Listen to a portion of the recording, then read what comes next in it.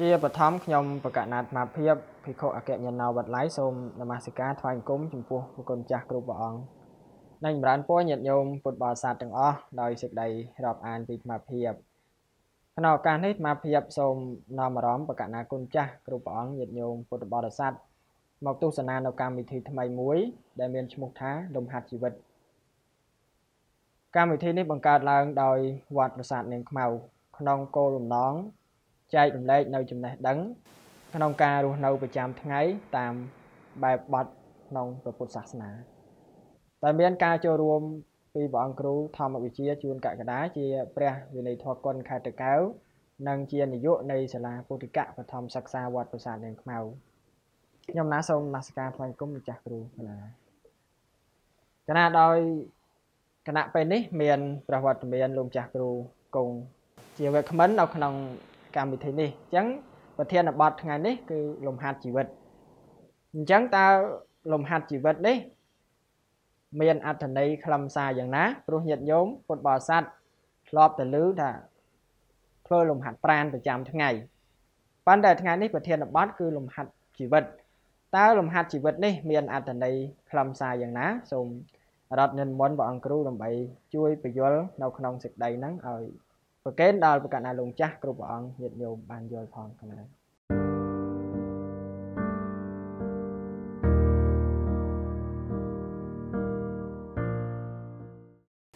ណាសូមមាសការថ្វាយគុំព្រះអង្គប្រធេរៈគ្រប់ព្រះអង្គនិងសូមចម្រើនពរ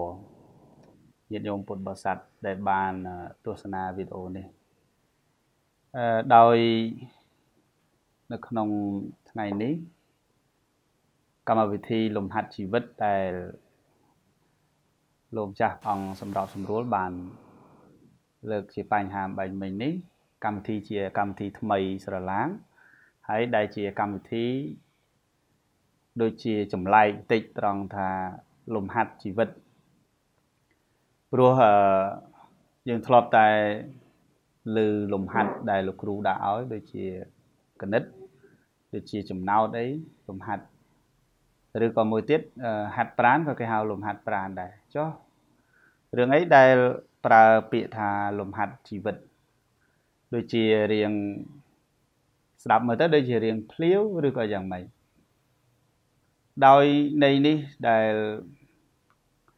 វត្តប្រាសាទនាងខ្មៅបានស្រស់ស្រួលគ្នាឡើងដើម្បីបង្កើតនីតិនេះដោយផ្អែកទៅលើជីវភាពរស់នៅប្រចាំថ្ងៃ កិរិយាការប្រព្រឹត្តប្រចាំថ្ងៃកិរិយាការធ្វើរបស់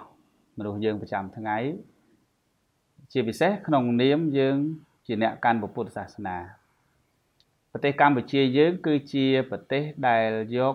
ព្រះពុទ្ធសាសនាជាសាសនារបស់រដ្ឋហើយដូច្នេះហើយរាល់បញ្ហាជីវិតរស់នៅទាំងអស់ត្រូវផ្អែកទៅលើទ្រឹស្ដីពុទ្ធសាសនាជាច្រើន ហើយពុទ្ធសាសនាក៏បាននាំ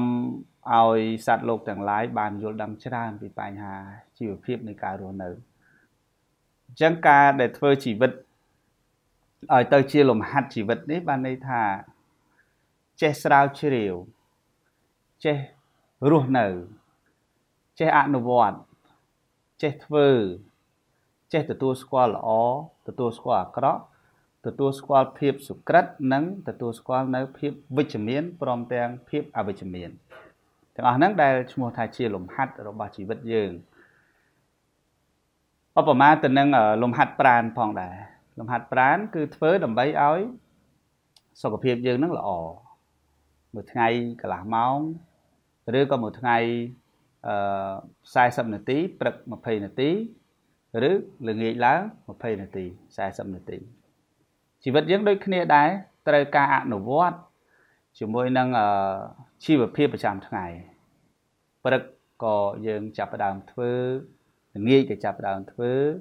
ថ្ងៃត្រង់ក៏ចាប់ផ្ដើមធ្វើរាល់ថ្ងៃជាពិសេសបើយើងតោងទៅលើទ្រឹស្ដីរបស់ព្រះពុទ្ធបរមគ្រូរបស់យើងព្រះអង្គទ្រង់ត្រាស់ថាគ្រប់គណៈគ្រប់ពេលទាំងអស់គឺត្រូវនៅជាមួយនឹងសេចក្តីមិនប្រមាទ អញ្ចឹងជីវិតទាំងអស់ហ្នឹងត្រូវរស់នៅជាមួយនឹងសេចក្តីមិនប្រមាទការដែលយើងរស់នៅជាមួយសេចក្តីមិនប្រមាទឈ្មោះថាយើង ប្រុងប្រយ័ត្នជីវិតយើងសពពេលសពគណៈសពវេលាហ្នឹងហើយដែលយើងយកចំណុចមួយថាជាលំហាត់របស់ជីវិតហើយនៅក្នុងលំហាត់ជីវិតនេះនឹងបង្ហាញជូនប្រកេនជូននៅក្នុងអឺវីដេអូបន្តបន្តទៅទៀតដែលយើងមានទ្រឹស្ដីពុទ្ធសាសនាជាច្រើនទៀត ដែលយើងត្រូវធ្វើការបង្ហាញនៅក្នុងវីដេអូនេះ ដែលវត្តប្រាសាទនាងខ្មៅប្រសង់ក៏ដូចជាគណៈគ្រប់គ្រងរបស់យើងនឹងរៀបចំចាត់ចែងវីដេអូនេះបន្តទៅទៀតដែលមានខ្លឹមសារធម៌ក្នុងលក្ខណៈដែលដែលជាការអប់រំផ្នែកខាងផ្លូវជីវិតរស់នៅប្រចាំថ្ងៃហើយមានច្រើនទាំងភាពបច្ចុប្បន្នទាំងភាពអនាគត តាំងពីអតីតកាលរបស់ជីវិតយើងអញ្ចឹងចំណុចនេះហើយដែលយើងផ្ដោតរួមទាំងអស់ថាជីវិត គឺត្រូវតែធ្វើលំហាត់លំហាត់គឺជាលំហាត់របស់ជីវិតអញ្ចឹងរស់នៅប្រចាំថ្ងៃអង្គុយយកមកគិតពិចារណាពីព្រឹករហូតដល់យប់អឺយប់ហ្នឹងយកមកគិតមើលថាតើពីថ្ងៃអញបានអនុវត្តអីខ្លះហើយពីថ្ងៃនេះអញបានធ្វើអីខ្លះហើយពីព្រឹកមកដល់ថ្ងៃរហូតដល់យប់ម៉ោងនេះពេលដែលអាត្មាអញអង្គុយគិត អង្គុយពិចារណាត្រេះរិះថ្លឹងថ្លែងមើលថាតើអាត្មាអញមានចំណុចអីខ្លះដែលត្រូវកែកុនដែលត្រូវធ្វើវាបន្តទៀតហ្នឹងហើយជាលំហាត់ជីវិតហើយបើយើងគិតទៅដល់លើលំហាត់ដែលយើងត្រូវធ្វើមានអ្នកឲ្យបន្ទុកមានអ្នកឲ្យបន្ទុកត្រូវ10ឬក៏9ឬក៏8ឬក៏5ឬក៏2ឬក៏1អីចឹងទៅឥឡូវក្នុងលំហាត់ជីវិតនេះគ្មាននរណាអ្នកឲ្យបន្ទុកយើងទេ គឺខ្លួនយើងអ្នកឲ្យបន្ទុកខ្លួនយើងថាតើបែបបទរបស់យើងដែលរស់នៅក្នុងពុទ្ធសាសនាតើវាត្រូវបានទំហំប៉ុន្មានវិជ្ជមានបានប្រមាណភាគរយមួយថ្ងៃនេះ ហើយមួយថ្ងៃនេះអវិជ្ជមានបាន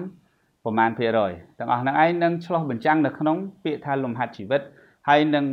លំហាត់ជីវិតនឹងទៀតនឹងមានបន្តទៅទៀតច្រើនណាស់នៅក្នុងអត្តន័យទ្រឹស្ដីនៃពាក្យថាលំហាត់ជីវិតមួយ ដែលយើងនឹងធ្វើការពិពណ៌នាបរិយាយជាមួយនឹងព្រះអង្គជាអង្គសម្រាប់សម្រួលជាមួយនឹងព្រះអង្គដែលជាអ្នកឆ្លាតឆ្លៀសនៅក្នុងវត្តប្រាសាទនាងខ្មៅយើង ជាបន្តទៅទៀតណា